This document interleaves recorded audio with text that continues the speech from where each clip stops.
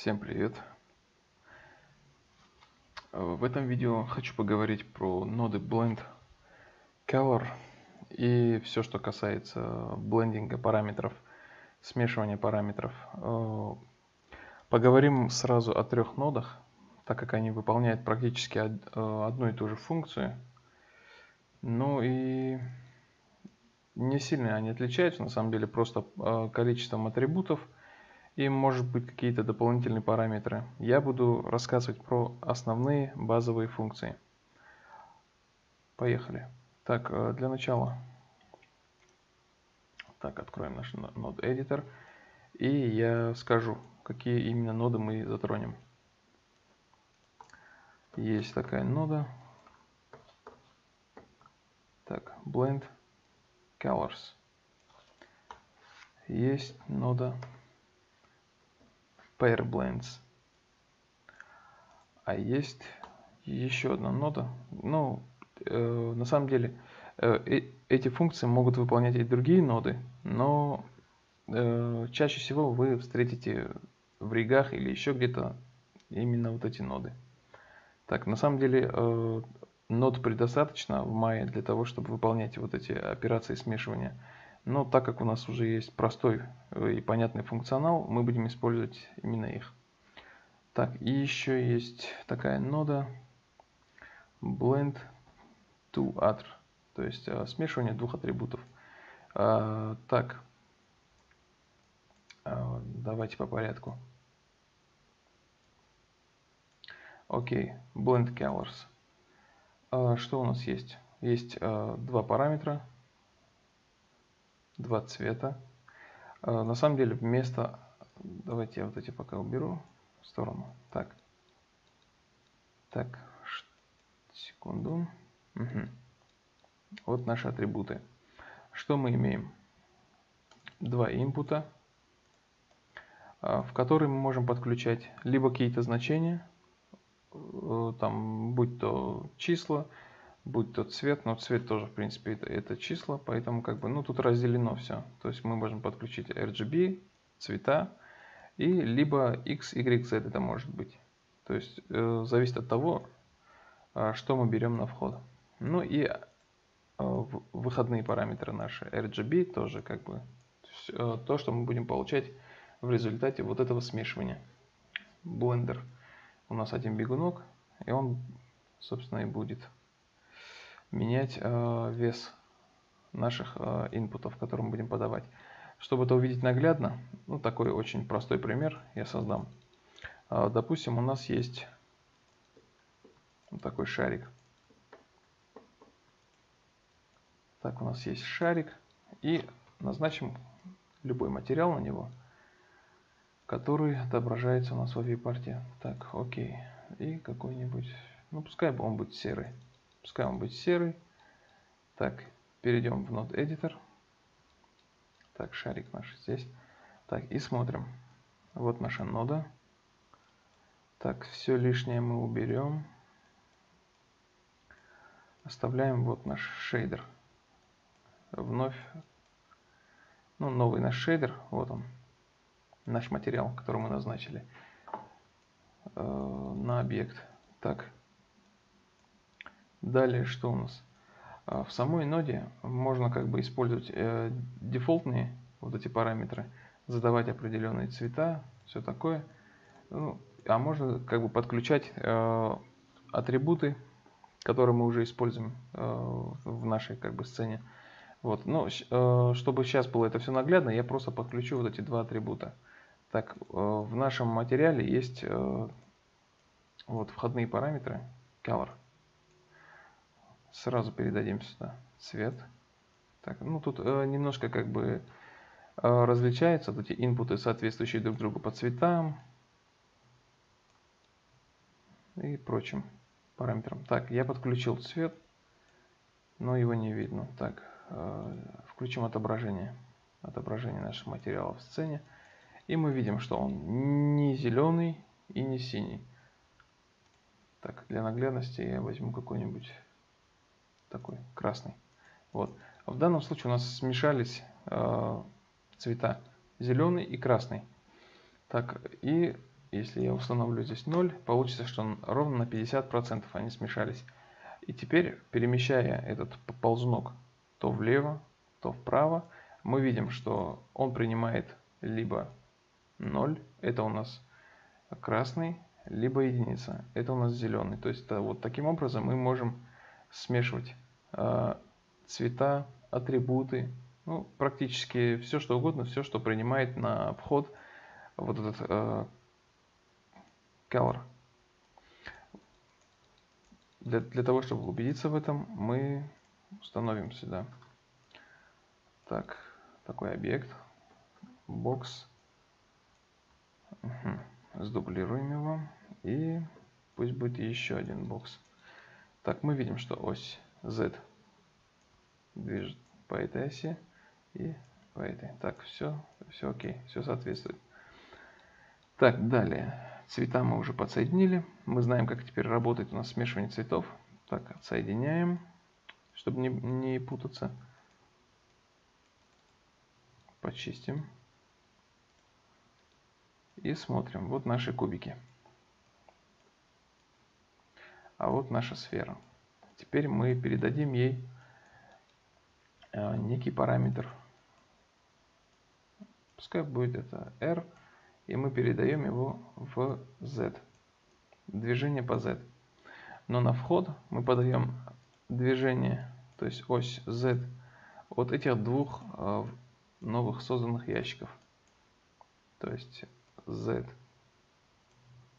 R ZR. То есть все, на вход мы подали координаты Z от наших ящиков.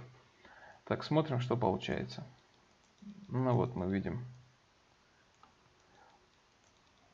двигаем этот ящик, и у нас э, как бы веса делятся между этим ящиком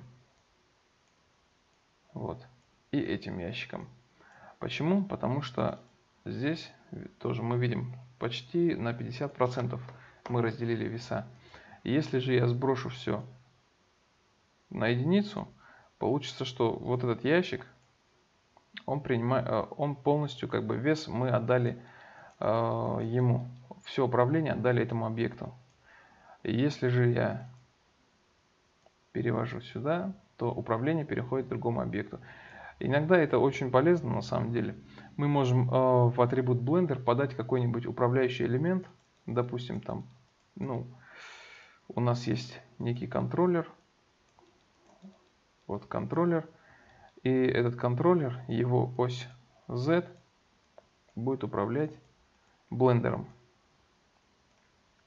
А также подключаем в блендер его ось Z. И видим, ну тут нужно лимит установить, потому что очень э, большой как бы диапазон. А у нас тут как бы в блендере от нуля до единицы такой более оптимальный параметр. Ну, мы можем заблокировать перемещение свыше единицы. Так, translate z. У нас получается максимальная это единица. Так, это единица. А минимальная это 0. Теперь мы видим. Оп. Вот. Таким образом мы можем установить некий контроллер и с помощью этого контроллера все это смещать. Так, ну здесь все понятно, мы разобрались с этим. Что же у нас дальше? У нас дальше еще два еще две ноды, э, они выполняют практически ту же самую функцию, просто может быть она менее э, ресурсоемкая на самом деле, и иногда не нужно бывает подключать такие э, нагруженные ноды, достаточно вот достаточно этой ноды, и у нее на вход мы можем подать два атрибута. И так, видим, что у нас тут есть input, как мы под, в тот момент, когда мы подадим сюда Э, атрибут, любой атрибут, мы видим, что создается еще один индекс. Так, идем, э, берем еще один атрибут, подаем сюда. Э, на выходе мы получаем практически то же самое, что и вот здесь, в нашей ноде Blend Colors. Передаем, передаем output на translate z. Окей. Движется, не движется. Смотрим. И здесь есть атрибут Blender. И он работает практически так же. Да, да и ничем не отличается особо. Вот, мы видим.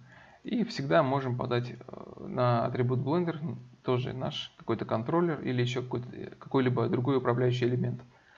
Так, вот у нас все движется. Мы балансируем между двумя объектами. Так, и что, что, что, что у нас еще осталось? У нас остался Pair Blend. Pair Blend нода осталась. Э, что в себе содержит эта нода? Э, вообще, э, чаще всего эта нода, она сама по себе формируется, когда мы на наш атрибут, вот мы видим, что у нас вот есть сфера, и у этой сферы, вот мы видим, задействован канал Z. Если мы его сейчас попытаемся санимировать, вот, я беру, пробиваю ключ, вот пробил ключ, перемещаю, пробил ключ и снова перемещаю. Так, мы можем заметить, что у нас изменился цвет, э, он стал такой э, салатовым цветом, он как бы раскрасился этот атрибут. Это означает то, что теперь у нас на вход сюда подается э, нода pair blend. Сейчас я это все как бы немножко в порядок приведу, чтобы не запутать вас. Так, сфера наша. Вот наша сфера, вот наш blend атрибут. И тут еще создался pair blend.